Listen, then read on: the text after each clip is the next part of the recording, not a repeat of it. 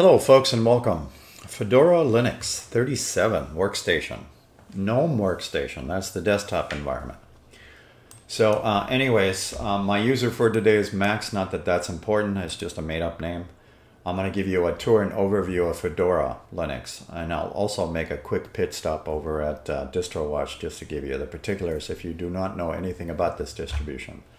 Today I'm filming in 3840 by 2160 at 200% scaling.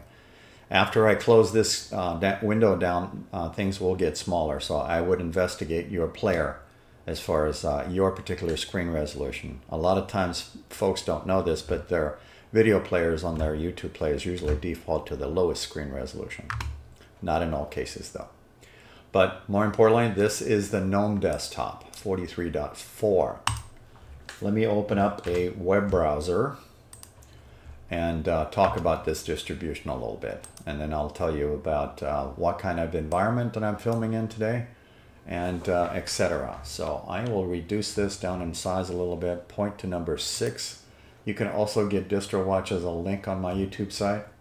And all of my videos are over two minutes, but they all have chapters and timelines. And I do encourage that you investigate my About section and also the um, community tab if you're wanting to do keyword searches on my 110 plus videos. All right, so let me blow this up slightly. Fedora is out of the United States. It's an independent. They have several desktop. Today I'm using GNOME. They do offer a live medium. That means you can download the um, Fedora workstation and test drive it. And I do encourage that you do that if you decide to install this distribution. Make sure, making sure that your hardware works. So if you are curious about this distro, the Fedora project is owned by Red Hat. Red Hat has a large server community out there. Okay, they're into a lot of different things. Get Fedora, getfedora.org. Workstation downloads is right here. You just uh, click that and start following their directions. There is also other additions down here below. So called Fedora Spins. Now I'm going to close that. I am filming in the X11 environment. When you install this distribution, it boots up in the Wayland windowing environment. The reason I'm using the X11 is because I installed Simple Screen Recorder through other means. It's not available in the software store. That's what I'm using to record this video. All right, we have activities at the top. We have a calendar thing in the center. You have a weather thing over here, which you can click and you can do other stuff. We have a multifunction key over here, which I'm not going to click on everything, but you can see the volume microphone. There's a gearbox for your main settings, your wireless thing, your Bluetooth thing, and um, etc. etc. And you, of course your power key. You can also get your system settings. So let me bring that downstairs about. So you can see another way of looking at system information. Again, this is a Fedora and uh, you can see all the particulars that I'm using. Now you can see the OS name. The type is 64-bit and the window environment or system is X11. You will see Wayland in here when you boot up. How do you change to the X11 environment? You log out of your system. Okay, you log out of your system. When you uh, log back in, just before you click your username, you'll see, um, as soon as you click your username, you'll see a little tiny gear pop here in the lower right hand corner. You'll just click that and you'll have several selections. One of them is X11. The default is normally GNOME. That would be the Wayland environment. Why am I not using that? Because Simple Screen Recorder doesn't work in that environment. That's why I'm making mention of it. Now I'm going to continue. What can I do by right-clicking on the screen? Well, I can change the background. You can also do that in your file manager. You can add a picture. These are the default wallpapers. So uh, one more time, I am filming in 3840 by 2160 at 200% scaling. If this is not working for you, go investigate the little setting on your on your player. Also, if you're curious about mouse pointers, um, there's uh, not a selection, but you can uh, change the size of your cursor from here to there. If you have any interest in uh, adding additional mouse pointers, drop me a line. I will do a separate video on that. If I don't hear that, then I'm assuming you're going to be watching some of my other videos for that. because uh, installing a mouse pointer is uh, fairly simple except uh, it needs to go into a certain folder and you also need one more tool to actually change this black mouse pointer to something different but I'm not going to cover that in this video. I'm going to continue.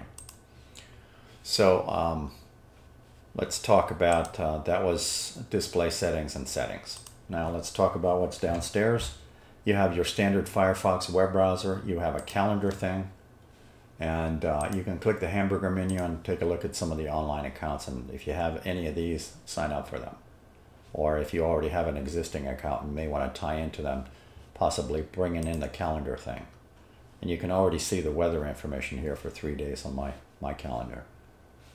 You got your week and your month, and I'm sure you can go check the rest out, as one would say.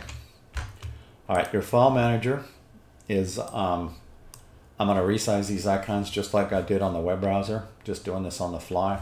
If you want to do it the old-fashioned way, then click the plus or the minus. All I'm doing here, folks, is holding down my control key with my left hand while using my USB-based computer mouse scroll wheel to enlarge and shrink those icons. They do come in handy for thumbnails like this. And speaking of thumbnails, you can pick anything for wallpaper. Pretty much, and you can also do the same thing in here, just by adding a photo, add picture, okay? So anyways, file manager, standard folders, resize. And of course you can resize the box several different ways. Other than that, I'm gonna move on from the file manager and hit start. Software manager, a lot of people uh, would like to probably know in that one. Hamburger menu, about software, the GNOME project 43.5 software repos. I added and I apologize I should have wrote, written it down. I added one repo in here um, to add that simple screen recorder but in general what you see in here is uh, looks like Fedora uses their own Flatpak software area. Okay because that's not going to flathub.org that's going to fedoraproject.org so it looks like they're using their own Flatpak versions. Okay, so there's flat FlatHub right there. Uh, but anyways, um, you can see all the different repos.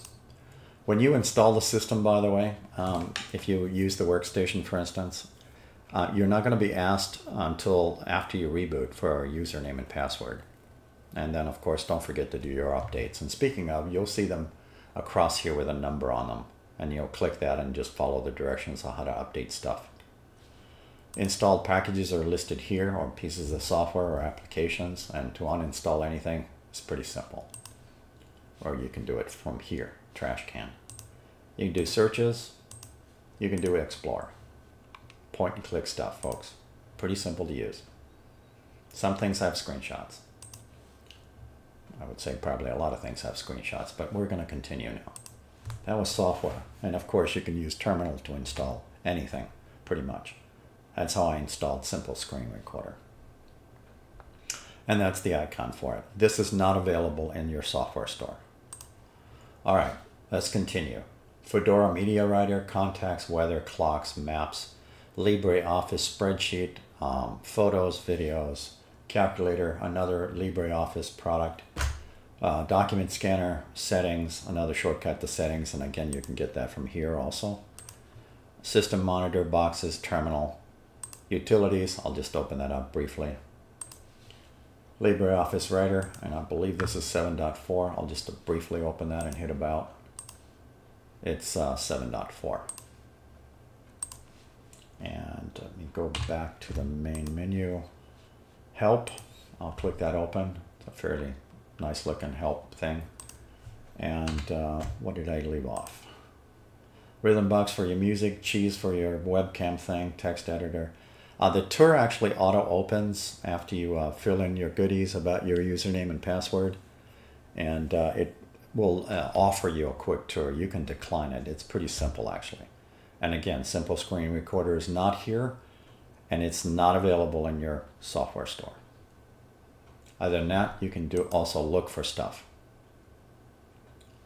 Start typing, in other words. I'm going to hit escape and escape again. So right clicking on the screen, there's three things, change background, display settings, and settings. They, they essentially all go to the same spot. It's just different categories. It just zones in on the display settings. But this is still settings, no matter how you slice this. Okay. You also have some shortcuts here if you're curious. And uh, this is just a general wallpaper. So speaking of, changing backgrounds. And if you wanted to get your own picture, it's going to ask you and default right to Max is my user. Uh, that's just a made up, made up name. Uh, you can go and go find a, I'll just pick that, that one there, for instance. And then if I wanted to use it, just click on it and you're done. That's your new wallpaper now. Okay, not sure which one I was using. I think I was using that one as the default. All right, I think I'm done, folks. Hopefully this was uh, something that uh, you were interested in. In other case, in other words, you can uh, definitely go on to DistroWatch or even uh, Fedora's website and go investigate that on your own. Thank you for watching.